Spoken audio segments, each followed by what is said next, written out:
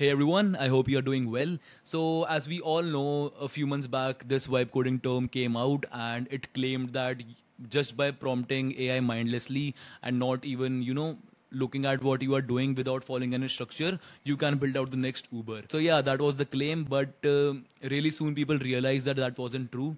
If you are prompting AI mindlessly, then it would give you an instant dopamine hit because it goes through like thousands of files, it builds out features for you, and it fixes a lot of things for you. But at the end, you will uh, end up with a product that is not working at all and you will end up spending a lot of time in just fixing the errors you know that cursor or windsurf shipped and that is why a new and much more practical concept has come up which is vibe checking. So if you want to understand more about vibe checking so let's look at the way things were done before. Okay so let's say there is a junior developer and they just joined this new company. So on their first day they are given a feature to implement right? So let's say the junior developer implements that feature and it is working fine. So it is not like that they would be able to you know uh, publish their code onto the main code base, uh, which is the app of the company, and just be happy. So that is why we had senior reviewers as well. You know, senior developers who used to go through the code changes that. Uh, uh, the junior developer made and they used to review it. And if there were any suggestions so let's say they are using a lot of lines of code when it could be done with less lines of code or if there is some security concern or stuff then they would tell the junior developer the junior developer would fix it. And once the senior developer is happy only then their code would be merged with the uh, main code base. So this was really important because ensured that whatever is getting pushed to the production, by production what I mean is whatever code that is being you know showed to the world that is safe and secure and is scalable and follows the best practices. So this is how it was done before. But now we don't really need a senior developer. I mean, if you are working in a big company, then why not? But in our case, where we are building MVPs, we needed AI in order to you know review everything that we were doing. And in the launch your MVP series, you would have seen that in the last video, we go through a launch checklist where we make everything performance optimized. We look for security and stuff. While that is really helpful, but what we are going to do today using CodeRabbit is while you are uh, writing code using Cursor, you are going to ask CodeRabbit to review it for you, just like a senior developer. And just at that point only, CodeRabbit is going to give you suggestions on security, scalability, performance optimizations, etc. And at the same time, you can you can fix it. So the later on, there is not a lot of things that you have to fix. So that is what I'm going to show you today. I mean, I never used it before, and since the past two weeks, I have been experimenting heavily with CodeRabbit, especially when there you know extension came out and i have been loving it so far. So yeah that is the plan for today's video. So let me walk you through it. Also a little bit about uh, code rabbit they started by focusing on code reviews inside github and if you want you can use that part of code rabbit as well you know in order to review prs and stuff. But right now i'm going to show you the way code rabbit you should use in order to you know make things much better for yourself. If you are building an mvp uh, for yourself for a client and stuff. Okay so let me open up the braindump project. Where is it? Okay so as you can see here is a braindump project so as you can see i am already running the project so the first thing the first requirement that you have in order to run code rabbit is uh, you have to install it. So you can just click on here. It works inside Cursor, Windsurf, VS Code, doesn't matter. Just click on this and you will be able to access extensions. And here you have to search for CodeRabbit, right? And once you do that, you will be able to see CodeRabbit. Just install it, and after that, it will ask you to log in via GitHub. If you don't have GitHub so far, please set it up. It is going to help you a lot as a Vibe coder. So just log in with that inside CodeRabbit, and you will be good to go. So if you go here, you will be able to see your CodeRabbit here. So the first thing that is required in order to run reviews via CodeRabbit is you have to ensure that your GitHub is initialized inside a project. So for asking to initialize Git, right? Because it isn't really initialized. So what I'll do is I'll just run this git init command. So as you can see, it just initialized an empty Git repository and now uh, code base is linked to GitHub. Basically, that is what it did. So yeah, once that is done, you will be able to see this thing here you know the files to review and the branch and so basically as you keep on making the changes you will be able to see those files here for review and then you can review the changes let me walk you through how exactly can you do Uh, okay, so let's talk about the most important concept that every one of you should use. So first is GitHub. So always commit, you know, to GitHub at regular intervals. So basically, whenever you commit a feature, whether it is half done or full done, and if you're leaving your system, do it. You know, once you are happy with it and something, it will really help you revert back to your previous sessions. And even if uh, your code base gets deleted, it is always safe inside GitHub. So that is the first thing. The next thing is let me explain you the concepts of branches. So right now whenever you initialize your git repository then your code base is on the main branch. By main branch what we mean is the the main code base right? So the best practice that you have to use is whenever you are adding in a new feature create another branch for it. So let's say right now i am adding a feature so i'll create another branch. A branch is like a copy of that main thing and then you can just you know make changes to that and once you are happy with it you can just merge it back with the main code base once you are happy with it. So this is a really important practice practice that you have to do the main branch always remains away from you know all of the other changes and only the code that has been reviewed and only the code that is secure and scalable and performing well. Only that code from the different branch should be merged into the main branch. So that is the goal and that is what you should uh, also follow. And that is where exactly CodeRabbit also helps you. So let's say right now i'm on the main branch. Like if i write git branch uh, yeah, so so sorry. Before you switch to another branch, you have to ensure that you have committed all of your code on GitHub. So right now, as you can see, all of this is green, right? So it means that this code has not be hasn't been you know committed inside branch yet. So let me show you the commands that you have to do. You can ask uh, uh, Cursor to do it for you, but let me walk you through the commands as well. You will also learn a bit about GitHub by this video. So why not? So the first thing that you have to do is you have to do git add dot. By this, what we mean is we are adding everything, all of these files uh, onto GitHub. Okay. By dot we mean everything. Then we are going to do git commit hyphen m and this. Then here you type in the message. So let's say first commit. So by commit, it means that we just pushed everything, you know, onto GitHub, and now it is, you know, inside the repository. So you have committed to the changes now. It is all the code rabbit is even asking me to, you know, start the review, but for now we won't do it. I just want to show you that how can you exactly do the review when you keep on building feature on feature. Okay, yeah. So now let me show you how exactly can you create your next branch. So in order to create your next branch, what command you have to run is this one. Just click, just write git checkout hyphen b and then name your test, uh, your new branch. So let's say I want to name this branch this new branch, let's say test is fine, right? So we just switch to this new branch test. And if I open up code rabbit you will be able to see that currently we are on the test branch and this is our main branch, right? So what it will do is whatever changes we make on the test branch, it will compare that with the main branch and all of the changes it will review. And once you're happy with the review, you can push those changes onto the main branch.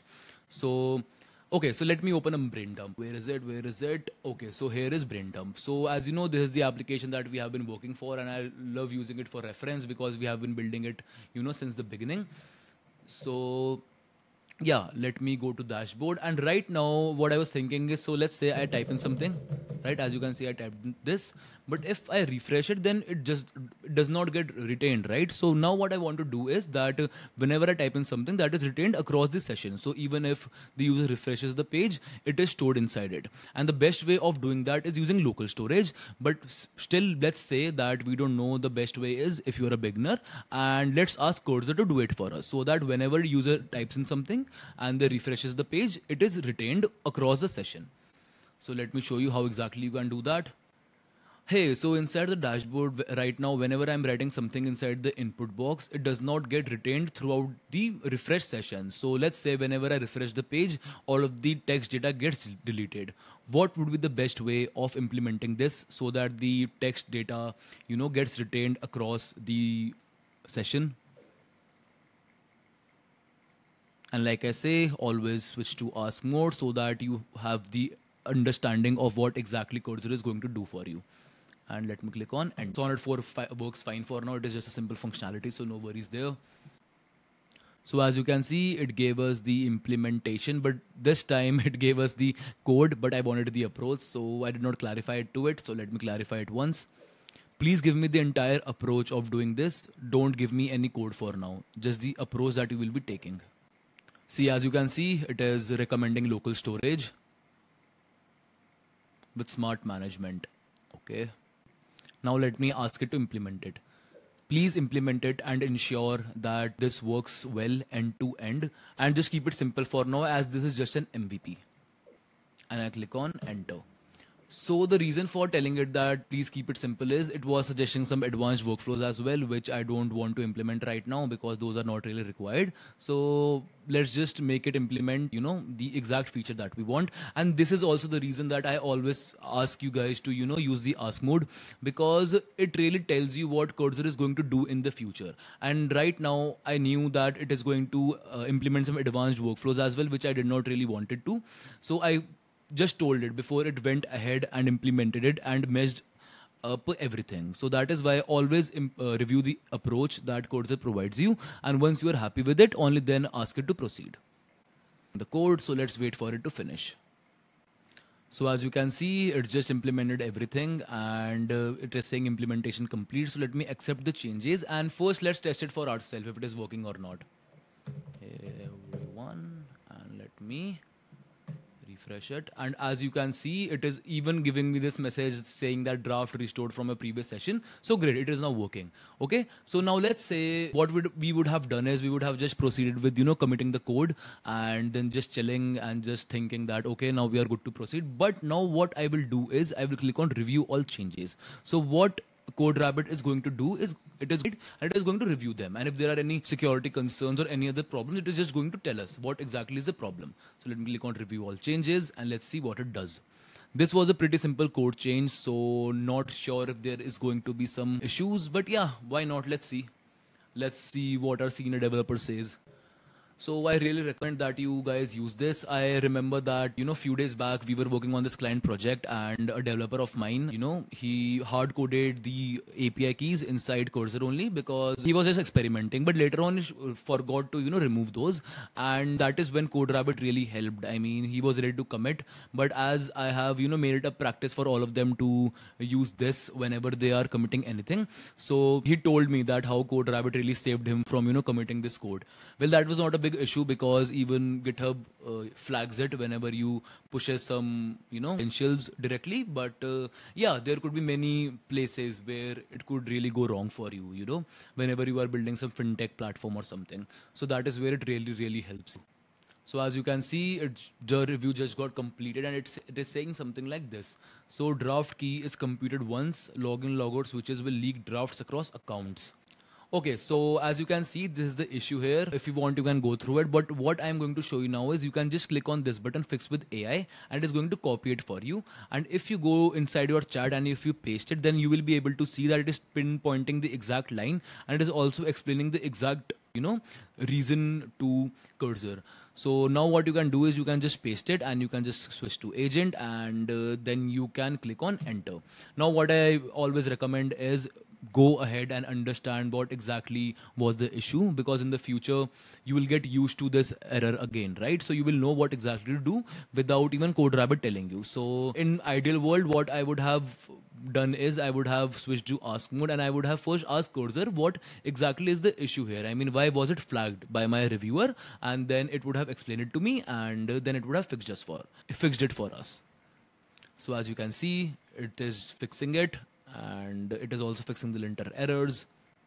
As you can see, even Cursor is telling me that this is a critical security and UX issue. The draft key is computed once on initial render and does not update when user changes, which can cause draft data to leak between accounts.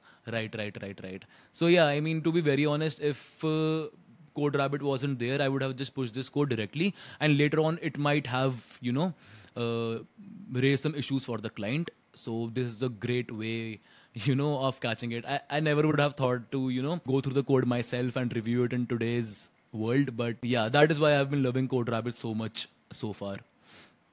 And yep, it just everything. And once that is done, you can just click on tick and change the plat successfully. If you want, you can run the review again. And if there is an error again, then it will let you know again. And you can just, uh, you know, fix it again using the fix with AI button. Also, I really recommend that you hop onto the paid plan uh, later on. If your usage is really less, then it is fine. But if uh, you push a lot of changes, then it is highly recommended that you hop onto the paid plan. Else, what it will start saying is right now this is my personal machine, and that is why I'm not on the paid plan. Uh, but as you can see, it is saying review cancelled because uh, the rate limit was hit, and now will I'll have to wait for like 55 minutes in order to CodeRabbit to work again for me. So yeah, if you are working for a client or even if you are working for yourself, this is highly recommended that you hop onto the paid plan. So yeah, I mean pretty much it. This is what I wanted to show you in today's video. Other than this, there is another step which you can do after that uh, which we do at the agency. So once this is done, now is the time when I create the PR. So PR is the way of uh, asking the main reviewer, the senior developer, to you know tell you if your code is ready to be merged. So right now, whatever we did was internally CodeRabbit really helped me in making my code secure and better. But now there is going to be another layer of review uh, which will be done once you push the pr uh, you raise the pr and that is also handled by CodeRabbit in a great great way. So don't want to really cover that right now because i want to keep this video short and uh, it is not going to really help you right now. But later on when you guys start your own agency or if you build your product for your client and that too when you are on your 10th or 15th product only then i'll really recommend that you get into prs because that might uh, you know uh, slow the process down a bit and it does. I mean it does slow the process down. But yeah, just wanted to let you know that there is more functionalities of Code Rabbit that you could explore. And this is also the place where Code Rabbit shines again because as Code Rabbit is connected to your GitHub account, it will do a really great job, you know, in helping you review the PR and uh, letting you know if there are any issues. So it acts like another layer of security on top of this in editor uh, review. And that is the complete vibe checking workflow. So as you guys saw, uh, this is really really helpful, and uh, people really started hating vibe coding because they thought that you are just building broken products which are not secure, which are not scalable. But uh, now CodeRabbit really helps you, uh, you know, in ensuring that whatever you are doing that is correct, and it acts like a senior developer overviewing everything that you are doing. So I highly, highly recommend it. I only share those things that I really think would be helpful to you guys. So please explore this tool. If you have any questions, feel free to let me know. And uh, yeah, see you next time.